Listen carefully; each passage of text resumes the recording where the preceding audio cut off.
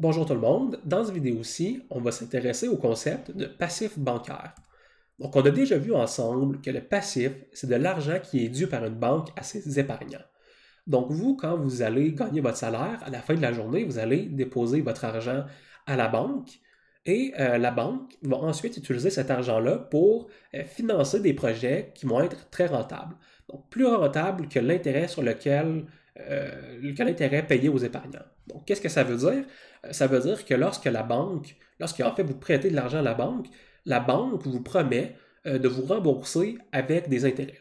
Et la banque vous promet de vous rembourser avec des intérêts pour vous pousser à épargner de l'argent, hein, pour vous pousser à prendre votre argent et le placer à la banque.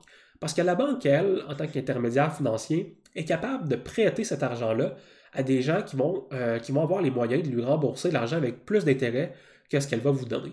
C'est donc très payant pour une banque de détenir plusieurs épargnants. Et c'est quoi les principaux passifs? Donc, c'est quoi les principaux passifs d'une banque? À qui est-ce qu'une banque doit de l'argent?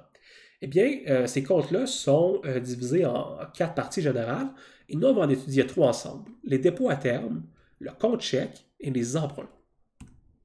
Donc, les dépôts à terme, c'est de loin le passif le plus important des banques. Un dépôt à terme, c'est lorsque vous promettez à la banque, vous déposez votre argent à la banque et vous promettez de ne pas le retirer pour une certaine période de temps. Donc, vous allez voir, par exemple, la Banque de Montréal et vous leur dites, euh, moi, je veux vous prêter de l'argent pour euh, les trois prochaines années et pendant trois ans, je vous promets que je ne sortirai pas cet argent de mon compte-là. Et le gelé, elle vous appartient pendant trois ans. Mais parce que moi, je me sacrifie pour trois ans à ne pas pouvoir retirer cet argent-là, je vais vous demander des taux d'intérêt supérieurs. Pour la banque, les dépôts euh, à terme sont des dépôts qui sont très avantageux parce que ça permet aux banques euh, de, faire des prêts, hein, de prêter de l'argent ensuite à, des investisseurs, à des entrepreneurs, euh, à prêter de l'argent à des entrepreneurs sans avoir à se soucier est-ce que mes épargnants vont vouloir retirer mon argent? On va voir que c'est quelque chose qui est très important dans l'équilibre passif-actif des banques. Les dépôts à terme, qui sont des plus gros montants, vont aussi être appelés des certificats de dépôt. Donc, vous avez Bill Gates, par exemple. Bill Gates, quand il épargne, il épargne des beaucoup plus gros montants que nous. Il pourrait, par exemple, dire à la banque, pendant 5 ans, euh, je vous prête euh, 1 million de dollars. Donc, pendant 1 million de dollars, je vous prête 1 million de dollars pendant 5 ans.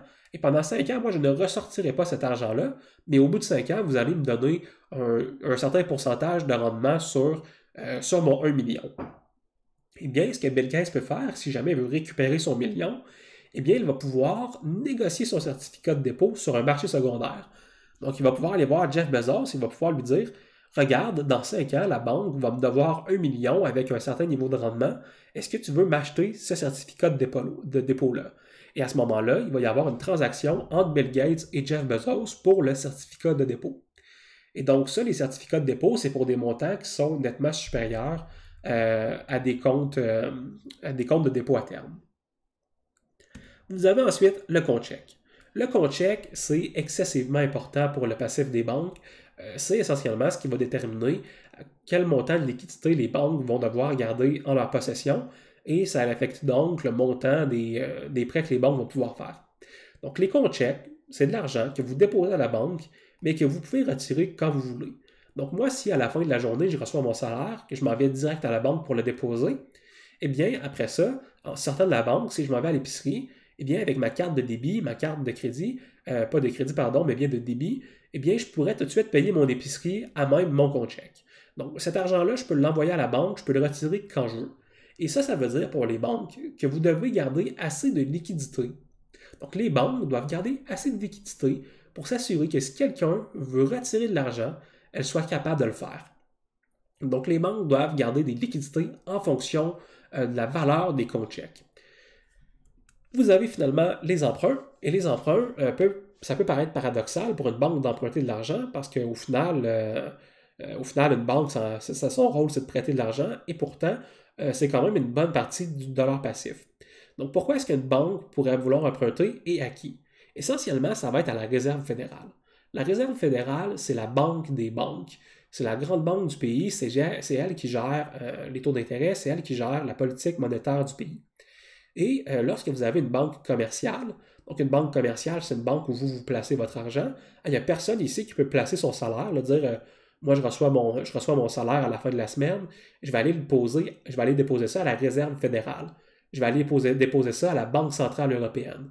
Je vais aller déposer ça à, à la Banque du Canada. Donc ça, ça ne se fait pas. On ne peut pas déposer notre argent à la Banque centrale, à la Réserve fédérale. Pourquoi? Parce que la Banque, centrale, la Réserve fédérale, elle ne prête qu'aux autres banques.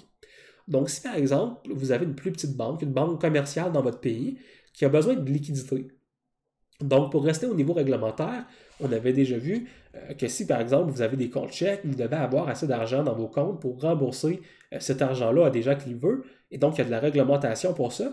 Si une banque n'a pas suffisamment euh, de, pas suffisamment de, liquidité dans sa banque pour respecter les règlements, pour couvrir ce dépôt, eh bien, elle va pouvoir, pouvoir aller voir la Réserve fédérale et leur dire, écoute, euh, il me manque de l'argent, j'ai pas assez d'argent pour respecter les règles, euh, j'ai besoin d'emprunter, euh, j'ai besoin d'emprunter de l'argent. Et donc, la Réserve fédérale va lui prêter. Elle peut également aller voir d'autres banques. Elle peut aller voir des banques commerciales aussi et leur dire, écoute, j'ai besoin d'argent aujourd'hui pour couvrir mes dépôts. Est-ce que toi, tu as de l'argent en surplus? Et à ce moment-là, on fait des remboursements comme ça. Euh, c'est ce qu'on appelle des euh, taux d'intérêt overnight, donc des transactions euh, pendant la journée entre les différentes banques, ça arrive, et c'est ce qu'on appelle des emprunts pour les banques. Dans les prochaines vidéos, on va s'intéresser ensemble aux actifs.